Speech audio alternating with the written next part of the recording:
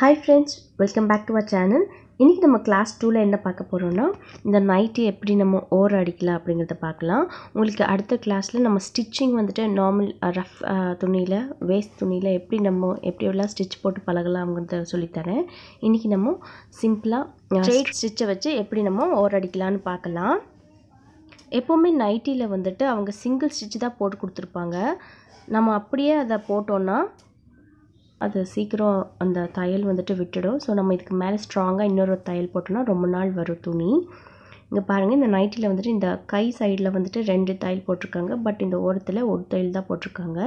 நம்ம பிகினஸாக இருக்கும்போது இந்த மாதிரி சின்ன சின்ன வேலையெல்லாம் நம்ம செஞ்சோன்னா தையல் நம்ம நல்லா ப்ராக்டிஸ் ஆகிடும் அப்போ நமக்கு ஈஸியாக இருக்கும் நம்ம ப்ளவுஸ் அது மாதிரிலாம் தைக்கிறதுக்கு. இப்போ இந்த நைட்டி பாருங்கள் உங்களுக்கு ஆம் இந்த கை சைஸ் வந்துட்டு உங்களுக்கு பெருசாக இருந்துச்சுன்னா நீங்கள் உங்களோட கையோட அளவு எடுத்து நீங்கள் தையல் போட்டுக்கலாம்.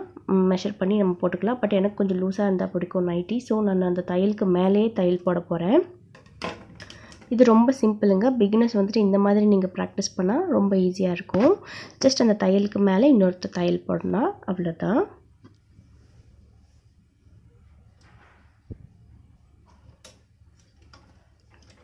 பிகின் பண்ணும்போது ஒரு பேக் ஸ்டிச்சில் பிகின் பண்ணுங்கள் அப்போ தையல் பிரியாமல் இருக்கும்.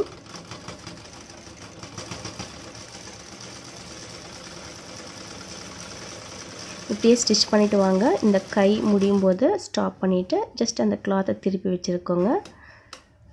லைட்டாக அதை இந்த லிஃப்ட் பண்ணிவிட்டு நம்ம வச்சா அந்த சுருக்கம் எல்லாம் போயிடும். நம்ம அந்த தையல் மேலேயே அப்படியே போட்டுட்டு வந்தோம்னா இந்த சைட் ஸ்டிச் வந்து நல்லா ஸ்ட்ராங்காக வந்துடும். ரொம்ப சிம்பிள் தாங்க. பார்த்தா ரொம்ப எப்படி நம்ம தைப்போம் மிஷின் வாங்கிட்டு யூஸ் இல்லாமல் போயிடுமோ அப்படின்னு நினைக்க வேண்டாம். நான் முதல்லலாம் இந்த ட்ரெஸ் எல்லாம் தைக்கும்போது நான் ஸ்டிச் பண்ணும்போது எனக்கு ரொம்ப கஷ்டமாக இருந்துச்சு. அட நான் மிஷின் வாங்கி ரொம்ப வேஸ்ட் ஆகிடுச்சோ அப்படியெல்லாம் நினச்சேன். அப்புறம் but practice makes a man பர்ஃபெக்ட்டுங்கிற மாதிரி நான் ப்ராக்டிஸ் பண்ண பண்ண இது ரொம்ப சிம்பிளாக இருக்குங்க. சின்ன சின்ன வேலைக்கெல்லாம் நம்ம கடைக்கு போய் இதுக்கெல்லாம் சும்மாவே ஃபிஃப்டி ருபீஸ் அந்த மாதிரி வாங்குவாங்க. நம்மளுக்கு மிஷின் ஒன்று வாங்கி வச்சுட்டோன்னா இந்த மாதிரி தையல் போடுறதுக்கு இதெல்லாம் ரொம்ப யூஸ்ஃபுல்லாக இருக்கும். போக போக நம்மளுக்கே இன்ட்ரெஸ்ட் வந்துடும். ப்ளவுஸ் சுடிதார் எல்லாம் எப்படி தைக்கலாம் அப்படிங்கிறத பார்க்கும்போது அது ரொம்ப சிம்பிளாக இருக்கும். இந்த மாதிரி நீங்களும் மிஷின் வாங்கி ட்ரை பண்ணி பாருங்கள் மிஷின் வாங்குறது எப்போவுமே வே வீணாகாதுங்க. நான் ஷுவராக சொல்கிறேன் தையலில் இன்ட்ரெஸ்ட் இருக்கிறவங்க டெஃபினட்டாக ஒரு மிஷின் வாங்கி வைங்க. நம்ம கிளாஸ் போகாமையே இந்த மாதிரி ஆன்லைன் கிளாஸ் இந்த யூடியூப்லேயே பார்த்தே நம்ம கற்றுக்கலாம் தையலில் இன்ட்ரெஸ்ட் இருந்தால் போதுங்க. எல் எல்லாமே ஈஸியாக தைக்கலாம். இந்த மாதிரி இந்த லாஸ்ட் வரைக்கும் நல்லா தைச்சிடுங்க.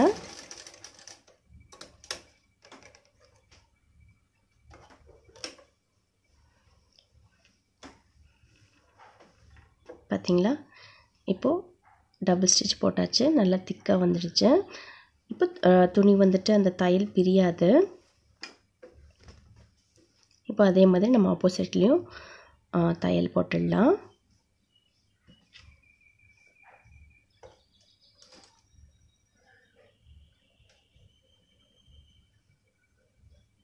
அதே மாதிரி தான் டப் பேக் ஸ்டிச்சில் ஸ்டார்ட் பண்ணிவிட்டு முடிச்சிடுங்க. ஐ மீன் கொஞ்சம் ஒரு ஒரு இன்ச்சு தைச்சிட்டு அப்புறம் பேக் ஸ்டிச் போட்டிங்கன்னா அந்த இடத்துல அந்த ஸ்டார்ட் பண்ணுற இடத்துல தையல் விடாது. இதே மாதிரி நம்ம தைச்சிடலாம். உங்களுக்கு சப்போஸ் இந்த நைட்டியே கொஞ்சம் நீங்கள் லீனாக இருக்கீங்க.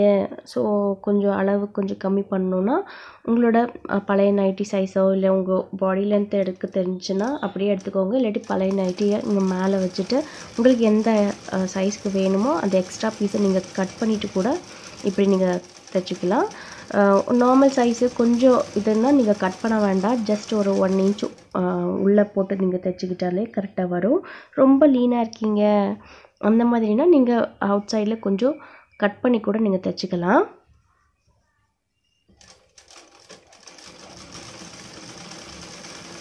பாருங்கள் நான் ரொம்ப ஸ்லோவாக தான் தைச்சிட்ருக்கேன்.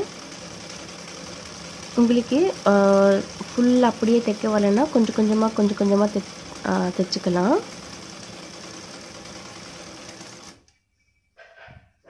ஏற்கனவே சொன்ன மாதிரி அடுத்த கிளாஸில் வந்துட்டு ஸ்ட்ரைட் ஸ்டிச்சு சைடு பா ஷேப் அந்த மாதிரி நான் வேஸ்ட் கிளாத்தில் போட்டு எப்படி தைக்கலாம் அப்படிங்கிறத சொல்லித்தரேன். அது நீங்கள் ப்ராக்டிஸ் பண்ணிகிட்டே இருந்தாலே போதும்.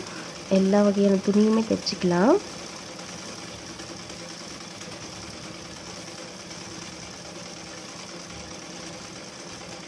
இதே மாதிரி லாஸ்ட் வரைக்கும் தைச்சிக்கோங்க. எனக்கே தைக்க வரும்னா டெஃபினட்டாக நீங்கள் எல்லோருமே தைப்பீங்க பிகாஸ் எனக்கு இந்த தையல் இதெல்லாம் எதுவுமே தெரியாது. நான் ஆன்லைன் கிளாஸ் ஐ மீன் இந்த யூடியூப் பார்த்து தான் கற்றுக்கிட்டேன் எந்த கிளாஸும் போல் ஒன்றும் போல். இப்போ எனக்கு ப்ளவுஸ் சுடி எல்லாமே தைப்பேன். ஸோ இன்ட்ரெஸ்ட் தான் எதை வேணால் பண்ணலாம். இப்போ பாருங்கள் ஹைட் வந்துட்டு உங்களுக்கு ரொம்ப லென்த்தியாக இருந்துச்சுன்னா இந்த இடத்துலையும் நீங்கள் சின்னதாக போதும்னா நீங்கள் ஃபோல்ட் பண்ணி தைச்சிக்கலாம். இல்லாட்டி கொஞ்சம் கட் பண்ணி கூட இதே மாதிரி நம்ம ஃபோல்ட் பண்ணி நம்ம தைச்சிக்கலாம். ரொம்ப ஷார்ட்டாக வேணும்னா இந்த மாதிரி டபுள் ஃபோல்ட் பண்ணி தைச்சிக்கலாம். கொஞ்சம் கட் பண்ணிவிட்டு இப்படி தைச்சிங்கன்னா சைஸ் கரெக்டாக வந்துடும்.